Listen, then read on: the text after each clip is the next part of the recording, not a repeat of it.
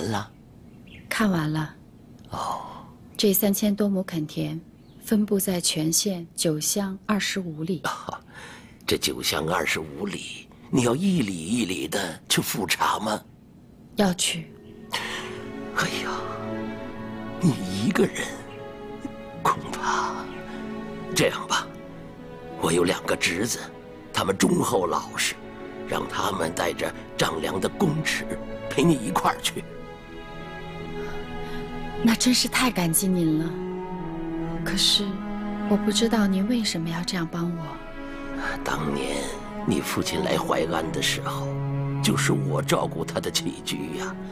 他每天晚上一边写折子，一边骂娘啊。我就问他，我说：“大人呐，您为何这样呢？”你父亲说：“我是大清律例的纂修官，我最容不得是在民生的册子上弄虚作假呀。”从那时，我的心里就知道。他是大清的忠良啊！如果严知县要知道你为你父亲翻案，恐怕会会有麻烦。不是麻烦呐，闺女，是麻绳儿啊！麻绳。儿，我明白了，那我就更不敢让您老人家帮忙了。哎，姑娘啊，实不相瞒呐。在你父亲离开淮安的第二天，有个人深夜闯进了我的家，用一包生石灰呀，生生把我的眼睛给呛瞎了。我知道，就是那个姓严的干的恶事。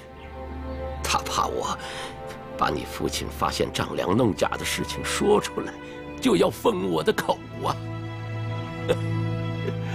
可是您今天。却对我开了口，这口气，姑娘，我憋了十几年了。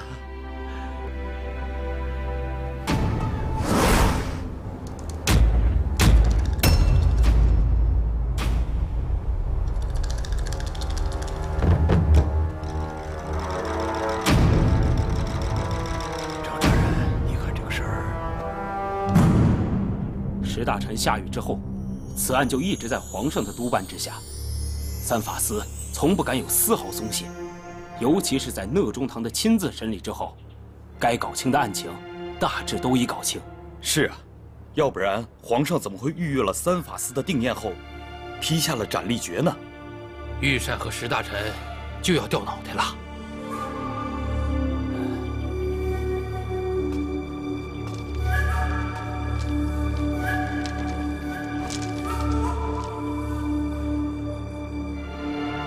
说了半天，还是没能解开我心中的谜团。我提三个问题，你们分别简明扼要的回答我。下官遵命。这第一，不光石大臣，还有御膳，他们所侵贪的银两的来龙去脉，你们搞清楚了吗？这些银两花在了何处？查明了没有？每一两每一毫是怎么花出去的？你们有证词和笔录吗？呃，还未曾全都取证。侵贪的银两实额和收缴的银两实额还对不上。第二，这些银两花在谁身上？他们各自得到了什么样的好处？查明了没有？还未曾如数查明。这第三。也就是最关键的一条，御膳和石大臣不光在密折案和各省的封欠案上造假，在其他的地方造假了吗？造假的后果又是如何？你们刨根问底了吗？阿伯这午时三刻快到了，刘大人怎么还没来啊？怕是快来了。不管他来不来，只要时辰一到，立马开战。嗯，没错。我可以等，老天爷不会等。对，这是什么地方？督察院。我怎么觉得像喝酒猜拳的小酒馆？刘大人，案情虽有不明之处，可是皇上已批下了斩立决，行刑就在今日午时。是啊，是啊，刘大人。来人，在！备马，马上去刑场，快！这。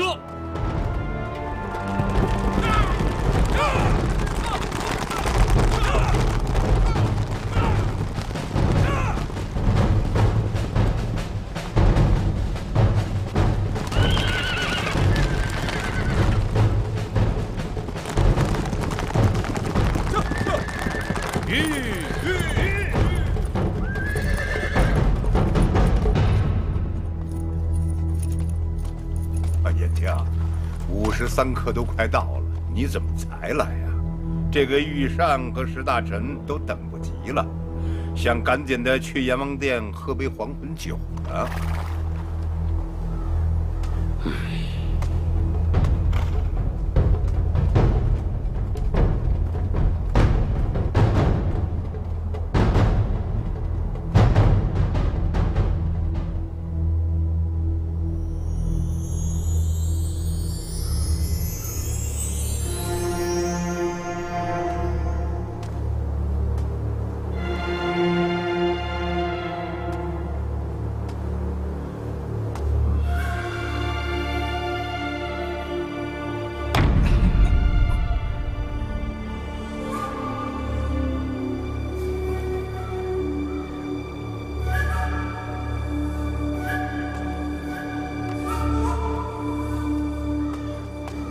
中堂大人，这他们的嘴里塞的都是什么？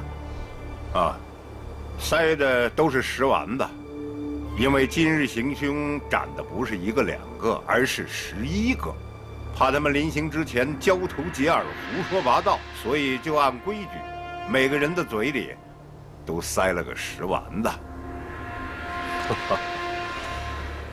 中堂大人，我要说。把他们嘴里塞的这石丸子都拿出来，你不会反对吧？把石丸子都拿出来，他们的肚子里可都有干货，还有未尽之言呢。光天化日，朗朗乾坤，还有什么可怕的？来人，在，把他们嘴里石丸子都掏出来。是，把石丸子都拿出来。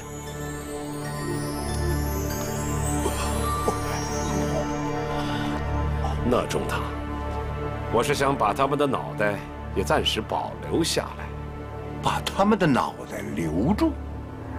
延青啊，五时三刻斩立决，这可是皇上钦定的。皇上是想让所有的官员亲眼看到他们是怎么犯罪的。这些罪犯在这些官员身上，该不该？犯罪之后当如何处置？中堂大人，我说的不错吧？但是我得遗憾的告诉你，就他们这个案子还没有理清，每个人的肚子里有一本烂账还没有完全的拿出来。燕青啊，三法司的官员日夜审案，从不敢懈怠。你不会怀疑他们的定验吧？不是不信任，我是恨他们。恨从何来？恨他们死到临头，还不能干干净净的下地。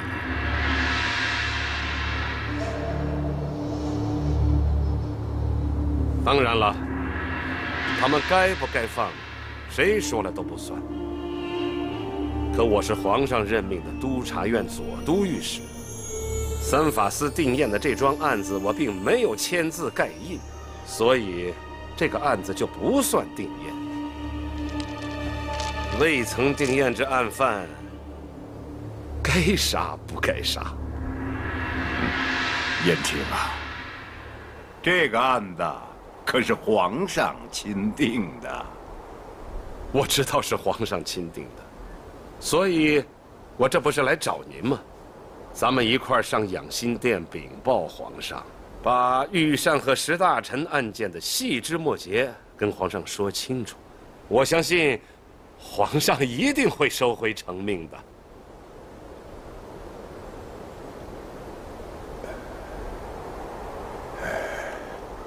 燕青啊，你说了这么多，不是跟我讷亲开玩笑吧？皇上，皇上钦定的斩立决，马上就要问斩了，却要让皇上收回成命，这可是杀头之罪啊！胡闹！哎，别急别急，我话还没说完呢。我这可不是在开玩笑啊，我是在 开杀戒。中堂大人，你听我说，等玉善和石大臣的案子了结了，朝廷里大大小小这些和他有牵连的官员，到时候我要对他们一并的大开杀戒。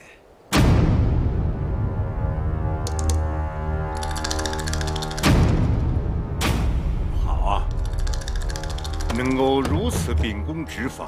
而且对此案如此心细如发，我想皇上听了我们的陈奏，皇上一定会收回成命。谢中堂大人。那好，我们去面见皇上。好。备马，走。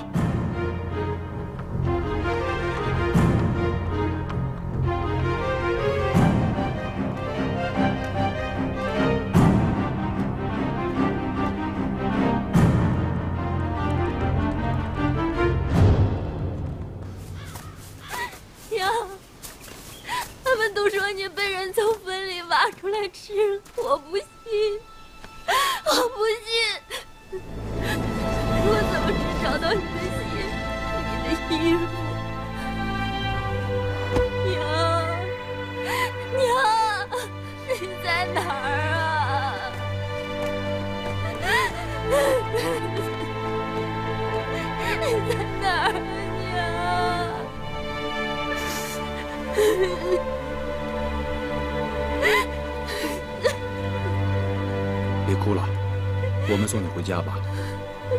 我没有家，我一家八口人全都饿死了，就剩我一个人还活着。姑娘，你叫什么名字？我叫麦香。麦香，你跟我们走吧，只要有我们三个一口吃的，就一定饿不着你。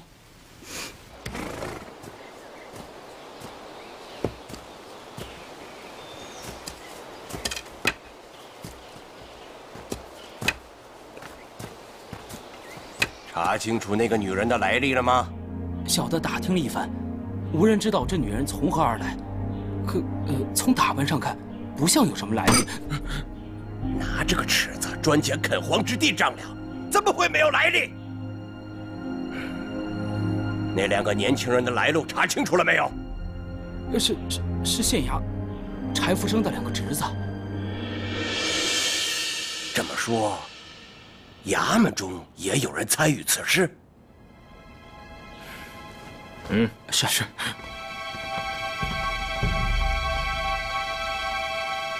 严知县，您看这事儿。这事儿好眼熟啊！十年前，本官还在县城任上的时候，就见过朝廷有个叫周福天的装修官，来到咱们淮安。带着一队人，也是拿着工具，将那些垦荒之田一块一块的丈量。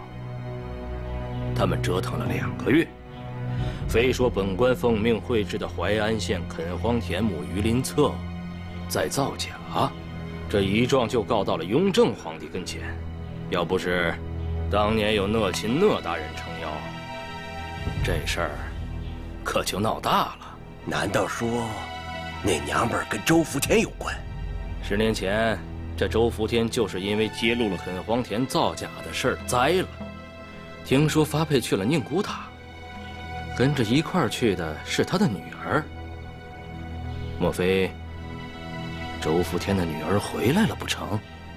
这事儿要是真的，那他女儿回淮安县干什么？哼，还能干什么？当然是想翻那桩旧案。替他父亲平冤昭雪吗？那这事儿可就麻烦了。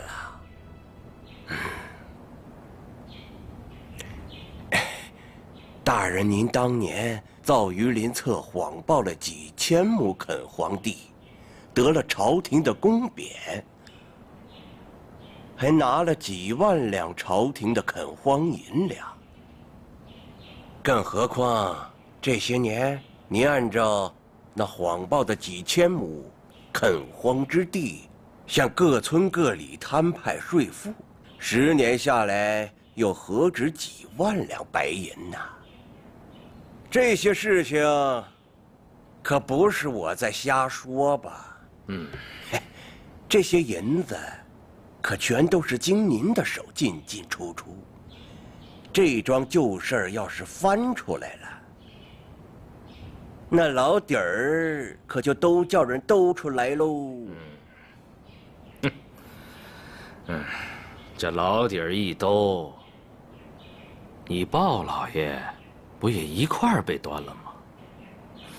这榆林册造假的事儿，可是你到各村各里出面摆平的，还打了包票，说所报田亩绝无半点虚假。如今这娘们儿真要是将这缸陈年老粪给搅起来，头儿个熏死的，就是你。一言之下，那那这事儿怎么办呢？斩草二字之后，还有两个什么字？除根。对，斩草除根，这事儿啊，就交给你办吧。好，今儿晚上我就派人灭了那个老头子。哼可知柴富生是怎么下的吗？不知道。石灰呛下的。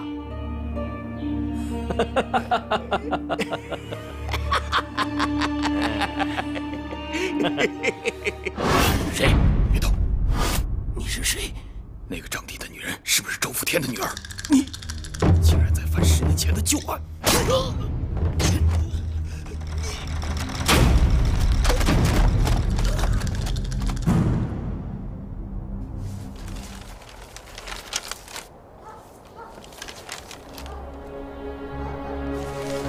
你们总共造田一千九百六十亩，第一年征一成的税，第二年征两成的税，第三年只征三成五的税。把他们带过来，让他们看一看，这就是不缴粮的下场。斩！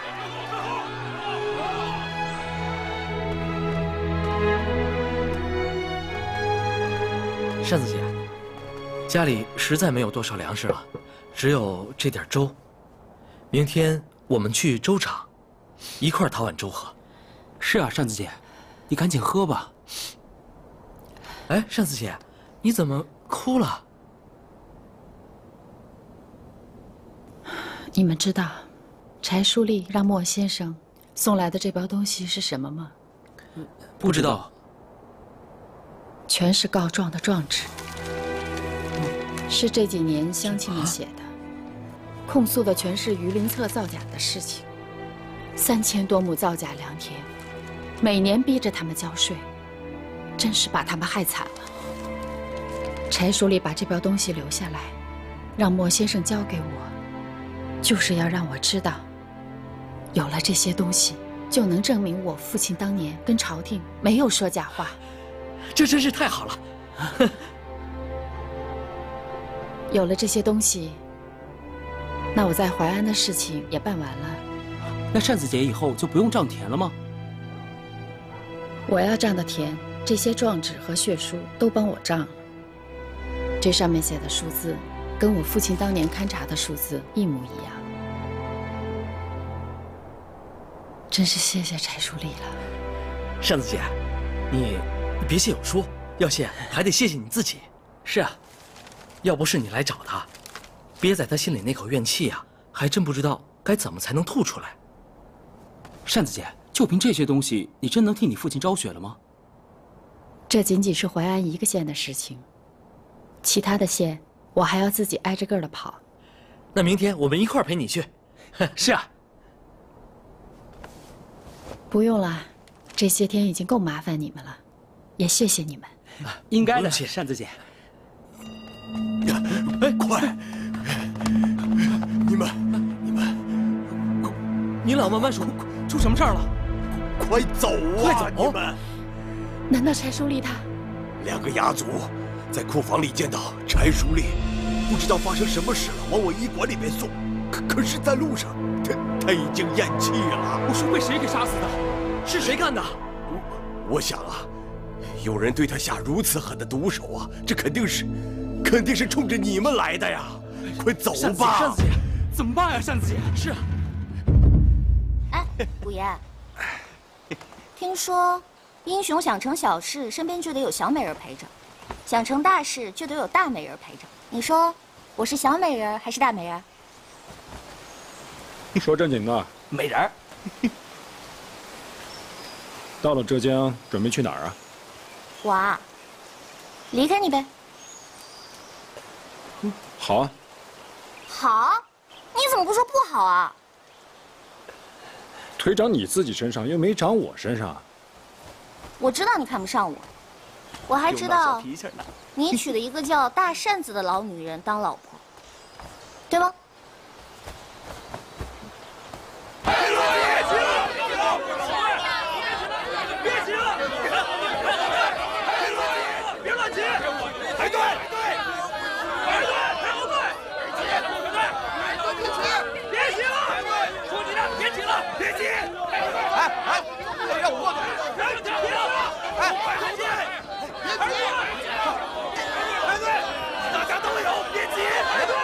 扇子姐，来，排队，别挤了！扇子姐，王不义，五爷，怎么是你呀？不是，大扇子，扇子姐。哦，这个是山东的一个灾民，没有家了，我们就把他带上了。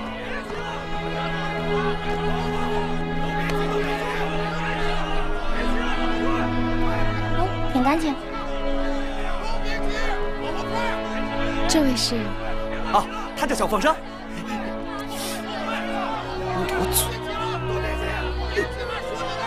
我是古山的生死之交。啊！遇上你们真是太好了。哎，扇子姐，我们乘舟去吧。喝什么呀？喝粥啊！我想喝错。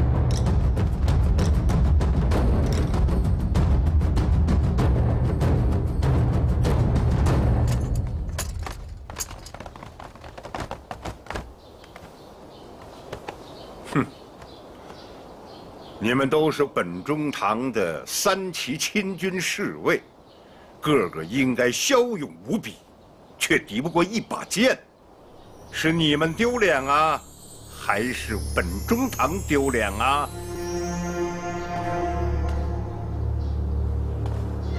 今后无论是使刀还是使剑，洗练是第一要诀，刀剑过处。不得有丝毫犹豫，否则断难取命。这，禀中堂，铁公子奉命来见。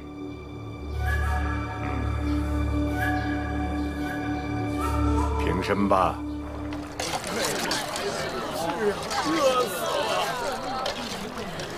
什么时候好啊？这什么时候饿死了？快点啊！让开，让开，让开，让开，让开，让开，让开，让开！让开！大人，请。大人，大山，你怎么会在这儿？热死了！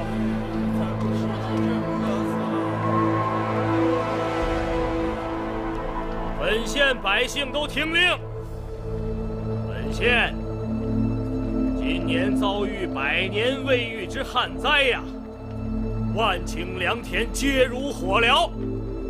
本官奉旨放赈，开办粥厂，惠及生理。各位或许都听说过，早在乾隆元年，山东放赈。刘统勋刘大人路过粥厂，打开锅盖，取过一把筷子插在锅中。一大清令，筷子浮起，人头落地。各位请上眼，看，本官给你们煮出来的是什么粥？等着瞧吧。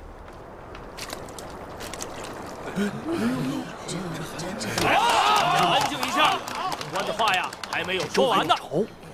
眼下咱们是粥少僧多，那肯定是不够的，所以本官是按照官仓赈粮之配额，每日煮后粥三锅。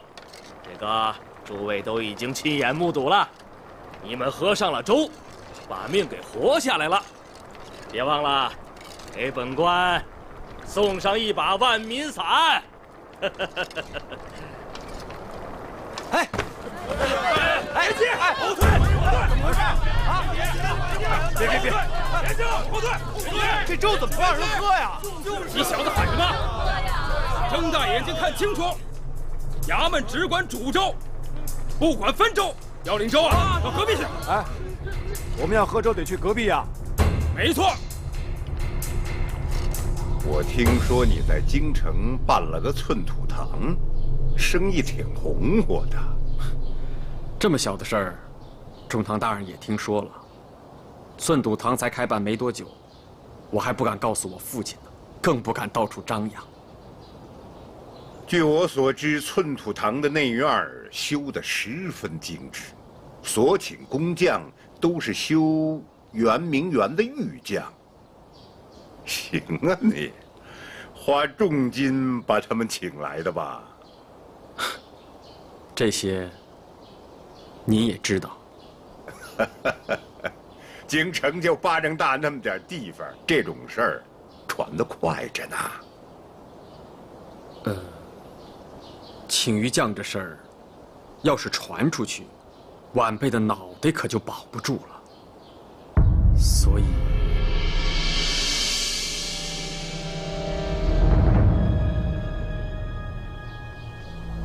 这事儿啊。到我这儿就算收罗了。这么着，日后要是本中堂得闲，经常去你寸土堂喝喝茶，不就结了吗？大人这般垂爱，犹如再生父母。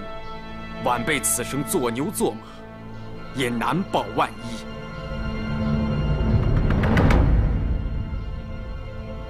好了好了，起来起来起来吧。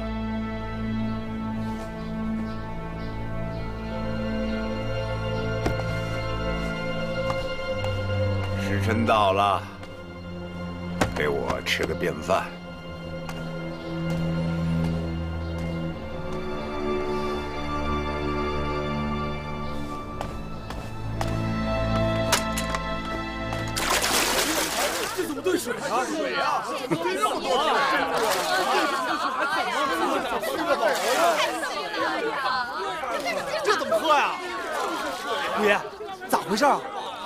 看明白了没？看明白了，官府怕朝廷治罪，烧了三锅后粥交差，再交给当地的商人，借他们的手把这后粥变成米汤了。那那那那他们就不怕？哎，福山，你干什么去？你们等着喝粥啊！哎哎哎，五爷，站着！你是何人？跟他们一样，是鸡鸣。鸡鸣。我看你是刁民，你拿把筷子，你想吓唬谁呀？啊！看清楚了，这是放朕的民棚，不是官棚。天王老子也管不到这儿。你若是还想喝一碗粥，乖乖的把筷子放下，老老实实去排队。嗯。我说，这位大人，你不看看你们才几个人，我这身后可有好几百骑兵啊！你让他们喝这缸子水，要是死了怎么办？就是啊，这我管不着。你管不着？刚才严大人也说了，按大清律例，筷子扶起，人头落地。给我抓起来！抓起来！凭什么抓人？凭什么抓人？凭什么抓人？你过去！我早就知道。会有人来闹朕，所以啊，就把这大清律例背下了。啊！凡有司官吏放朕，若是周悉浮快，处以斩刑。这是管谁的？这是管衙门、管官吏的。现在放朕的是民朋，放朕的是鲍老爷，不是鲍大人啊！你小子连青红皂白都分不清楚，就敢来闹事，把他给我送衙门治罪！你说完了吗？啊！不起开！五爷！这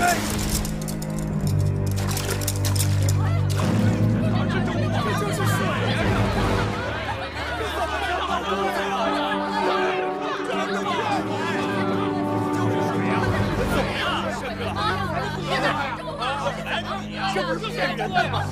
这就是水啊！冒肚子了！来，来来，再喝一杯。来，中堂大人，铁公子。嗯，来吃菜吃菜。你吃这个。嗯，好，八戒啊，你瞧瞧，多有眼力见儿。嗯。一表人才，人又聪明，将来啊，绝非是等闲之辈。谢中堂大人。哎，我说建飞啊，做我干儿子怎么样啊？这，我干爹在上，受铁剑飞一拜。起来，起来，起来，快起来！这就拜上了。哎呦，我可捡大便宜了！来来来来来来来，来来来，咱们共饮此杯，以此酒为证。从今儿起，你就是我干儿子了。干爹，来干！恭喜恭喜！倒酒，您坐。哎呀，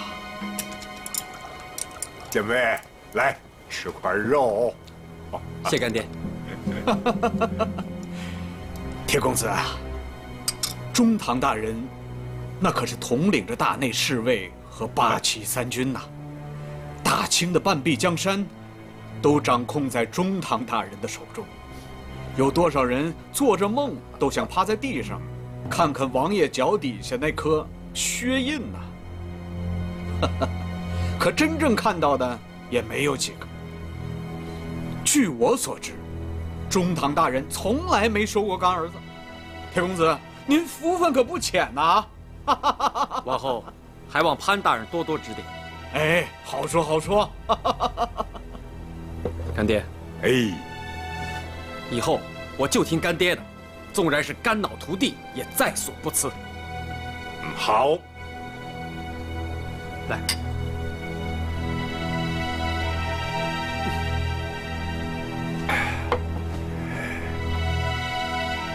建飞啊，既然你已经成我干儿子了，那干爹就唠叨几句。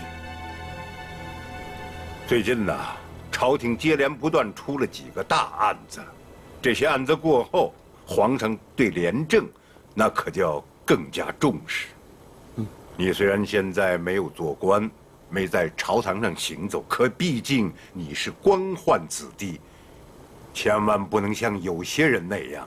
净做一些对不起皇上、对不起朝廷的事情，你给干爹记住喽，一定为大清、为皇上尽心尽力，不然的话，你对不起你爹，也对不起我这个干爹。干爹教诲，孩儿铭记于心了。好了，来来来来来，来，再干一杯。干爹，带你去官府治罪。哼等等，哟，说话的是什么人呢？鲍老爷，我想跟您借件东西。什么东西？布袋。你要布袋干什么呀？盛粥。刚刚我绑了一个傻子，看来现在又要绑个女疯子。啊，来人，把布袋拿这个女疯子。是，老爷。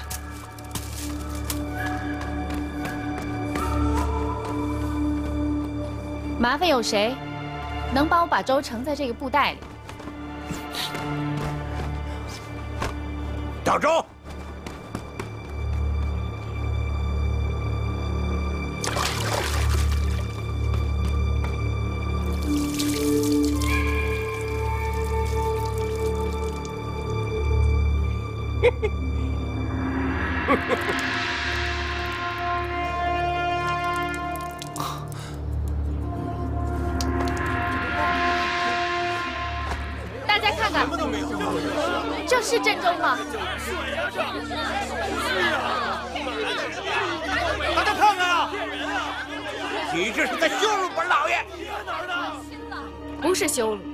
我是取证。取什么证？当然是罪证。看来你这个疯婆子就是这个德行，将这个疯女人给我乱棍打出！等等，鲍老爷，不着急，等我把话说完，你再动乱棍吧。这位师爷，麻烦借你的大清律例一用。莫非你也能看懂大清的王法？我想借用一下，能借吗？不借。好，不借也行。那麻烦师爷把大清律例翻到卷九的条例。嗯，什么意思？拿给他看。哎，不是我看，是你看。呀，你还想教本老爷认字儿不成？不是认字，是认罪。瞧瞧 瞧瞧，这女人疯婆子就是这个德行。师爷，照他说的办。麻烦师爷，把大清律例翻到第九卷，念上面的条例。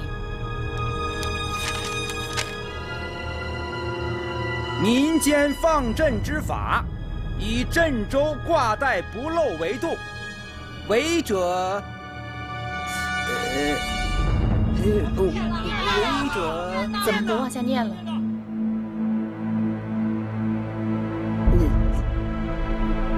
念呢？嗯，念啊！念啊！是啊，念啊！你想干什么？我想干什么？这是皇上定的王法。你要问我想干什么，那就是问皇上想干什么。说得好，是不是？是，说得好，没错，没错，念下去。没错。你给我念呐！民间，民间，方阵之法，以镇周带不漏为度。违者，还有一个字，我来替你念吧。斩。是这个字儿吗？就是这个字儿。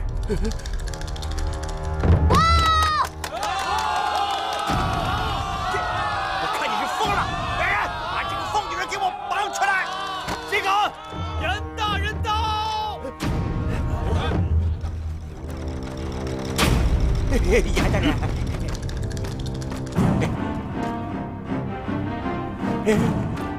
本官熬的后粥呢？严知县，我不是按照你混账东西！哎呦，有负本官的重托呀！啊，赶快熬出后周，发放给百姓。把人马上给我放了。啊，是是是是是，呃，放人，快快快！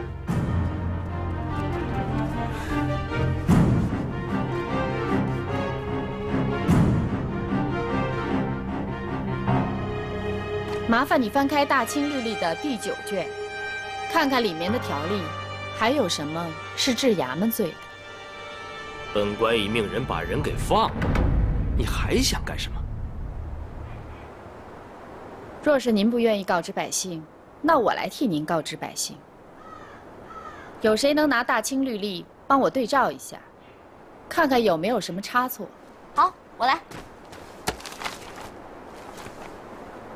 赈济灾民，以及捐免钱粮，各州县官若有侵蚀肥瘠等弊，照贪官吏，革职，拿问。一字不差。好你自己看吧。